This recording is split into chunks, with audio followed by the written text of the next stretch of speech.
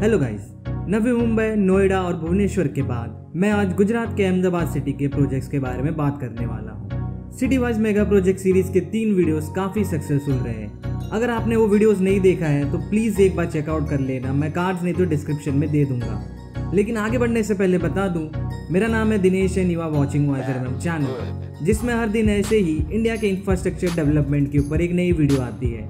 और ऐसी अपडेट्स और टॉपिक्स रिकमेंड करने के लिए आप मुझे इंस्टाग्राम पे फॉलो और मैसेज भी कर सकते हैं। Link will be in the description तो चलिए वीडियो की शुरुआत करते हैं।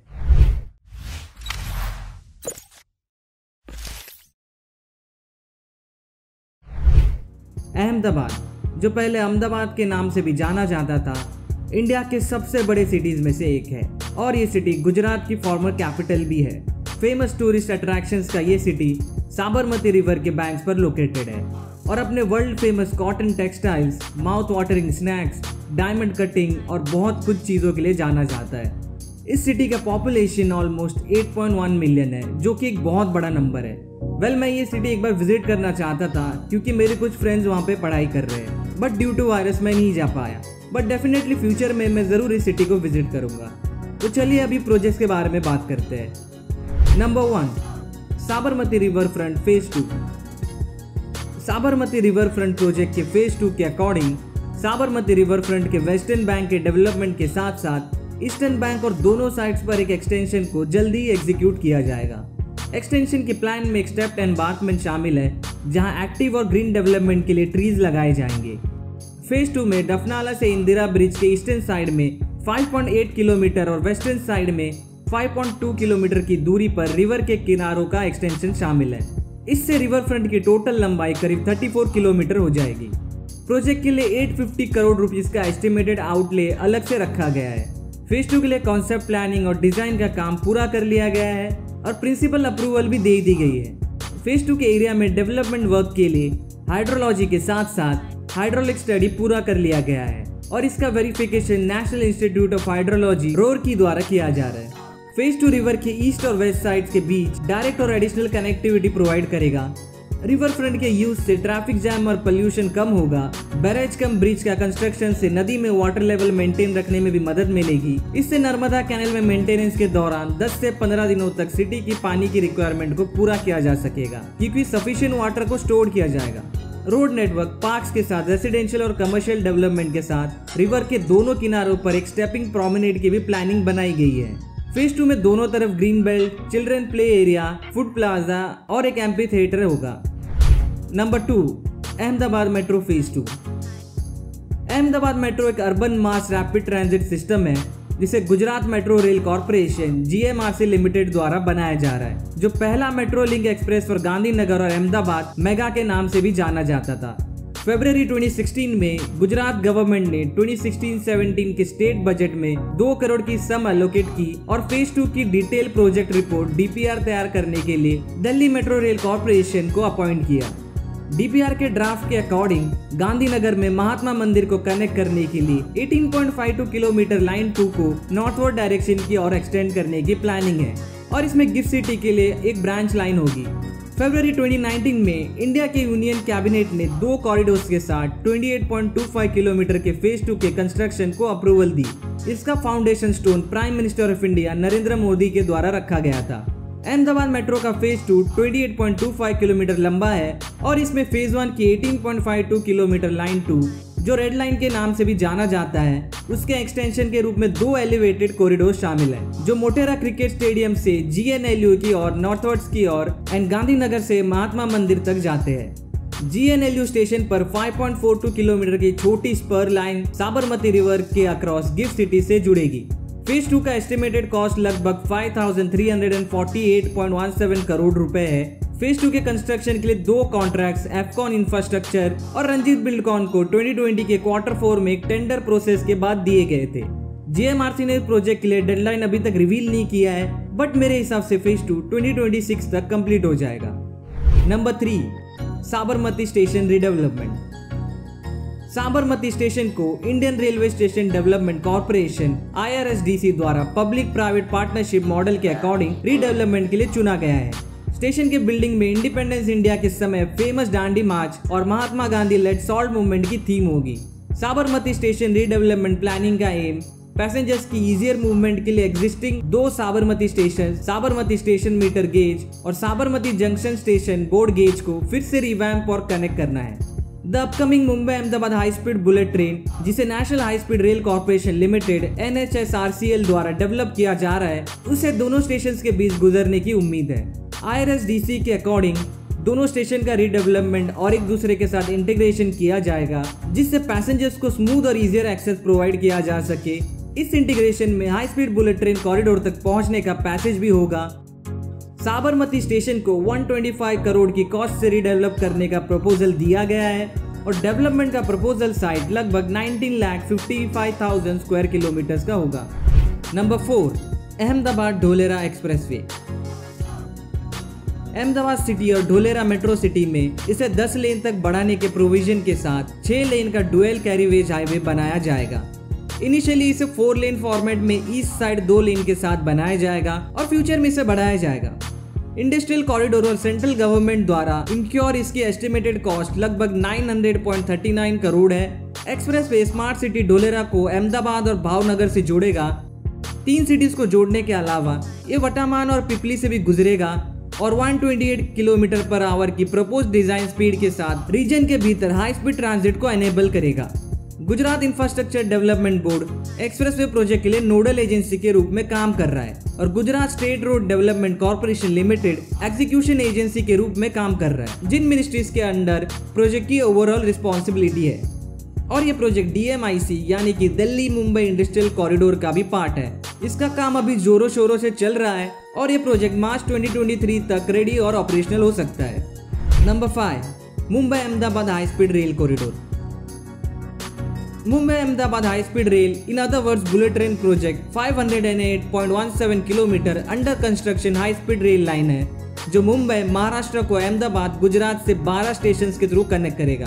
इस प्रोजेक्ट की एस्टिमेटेड कॉस्ट लगभग 1.1 लाख करोड़ रुपए है। इस प्रोजेक्ट को national high speed rail corporation limited N द्वारा जापान से 50 साल के लिए 88,087 करोड़ रुपीस के लोन के थ्रू 0.1 परसेंट इंटरेस्ट रेट पर एग्जीक्यूट किया जा रहा है जिसका रीपेमेंट बुलेट ट्रेन के ऑपरेशनल होने के 15 साल के बाद देना है। लाइंस पर ट्रेन 320 किलोमीटर पर आवर की स्पीड से, ग्राउंड से 10-15 मीटर ऊपर एक एलिवेटेड वायोडक्ट पर ऑपरेट करेगी। मुंबई को छोड़कर जहाँ तीन mega tunnel boring machine TBM का यूज़ करके अंडरग्राउंड लाइन का कंस्ट्रक्शन किया जाएगा। मुंबई और थाने स्टेशन के बीच ये लाइन समुद्र के नीचे थाने क्रिक में लगभग दो किलोमीटर तक चलेगी। लाइन के रोलिंग स्टॉक में शिंकासेन ई फाइव ट्रेन शामिल होंगे, जो 320 किलोमीटर पर आवर की ऑपरेशनल स्पीड के साथ 350 किलोमीटर पर आवर की मैक्सिमम स्पीड से चलने में केपेबल है। इस प्रोजेक्ट का फाउंडेशन स्टोन इंडिया के प्राइम मिनिस्टर नरेंद्र मोदी और जापान के ex prime minister Shinzo Abe द्वारा रखा गया था, जिसके बाद वडोदरा में 4000 एम्प्लॉय ट्रेनिंग सेंटर के लिए कंस्ट्रक्शन वर्क शुरू हुआ था। इंडियन गवर्नमेंट ने 15 अगस्त 2022 की डेडलाइन फिक्स की थी बट रियलिटी में कुछ अलग ही हो रहा है। गुजरात में तो काफ़ी काम हो गया है बट महाराष्ट्र में ये प्रोजेक्ट बहुत प्रॉब्लम फेस कर रहा है। जिसकी वजह से मुझे लगता है कि ये प्रोजेक्ट शायद से 2024 या 2025 तक बन जाएगा। इस प्रोजेक्ट के रिगार्डिंग मैंने एक वीडियो भी बनाया है। अगर वो आप देखना चाहते हो तो मैं ऊपर कार्ड्स में दे दूँगा। Number six sports complex at NID many public spaces और फैसिलिटीज़ के बीच ये प्रोजेक्ट दो सिग्निफिकेंट स्पोर्ट्स फैसिलिटीज़ भी ऑफ़र करता है। इन फैसिलिटीज़ को सिटी में, इसके लोकेशन और आसपास के रेफरेंस में प्रपोज किया गया है। ये शाहपुर में नेबरहुड लेवल की फैसिलिटी से लेकर पलाड़ी में सिटी लेवल स्पोर्ट्स अब तक है। इस स्पोर्ट्स कॉम्प्लेक्स में टेनिस क्रिकेट फुटबॉल बास्केटबॉल और स्केटिंग रिंग जैसे वेरियस स्पोर्ट्स शामिल होंगे। इसमें कैफ़े के साथ जिम और जॉगिंग की भी फैसिलिटी होगी। सिटी और आसपास के एरिया में इसके लोकेशन के रेफरेंस में स्पोर्ट्स फैसिलिटी का प्रपोज किया गया है। ये city level sports park river front के वेस्ट साइड में एनआईडी के पीछे लोकेटेड है। पलाडी स्पोर्ट्स पार्क का टोटल एरिया 35,875 स्क्वायर मीटर्स है और शाहपुर स्पोर्ट्स पार्क का टोटल एरिया 7,472 स्क्वायर मीटर्स है। जैसे अहमदाबाद के प्रोजेक्ट डेवलप हो रहे हैं मुझे लगता है कि ये भी जल्दी से डेवलप हो जाएगा।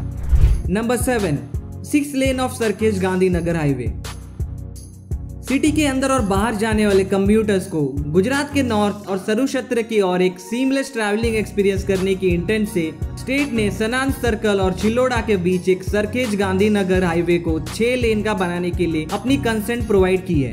ये प्रोजेक्ट पहले से ही चल रहा है। इसमें सात फ्लाईओवर्स और रेलवे ओवर ब्रिजेस शामिल है, जिसमें 4.5 किलोमीटर एलिवेटेड कॉरिडोर भी शामिल है।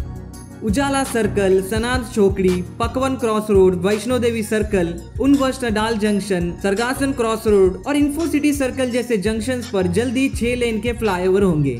इसके अलावा 16 भगवत जंक्शन से जाइडस क्रॉस रोड तक एक एलिवेटेड फ्लाईओवर की प्लानिंग बनाई गई है। एडिशनली 16 साइंस सिटी में एग्जिस्टिंग चार लेन ब्रिज को वाइडेंट किया जाएगा। एन एच के 45 किलोमीटर लंबे सेक्शन के साथ पूरे काम पर लगभग 846 करोड़ रुपए का खर्च होएगा। इसका लेटेस्ट अपडेट ये है कि काम काफ़ी हद तक हो गया है और इस साल कंप्लीट हो जाएगा। Number eight DMIC Delhi Mumbai industrial corridor DMIC India की सबसे एम्बिशियस इंफ्रास्ट्रक्चर प्रोजेक्ट में से एक है। इसे ग्लोबल मैन्युफैक्चरिंग और इन्वेस्टमेंट डेस्टिनेशन के रूप में डेवलप किया जा रहा है, जो 1483 किलोमीटर लंबे हाई स्पीड कैपेसिटी वाले वेस्टर्न डीएफसी का यूज़ कर रहा है।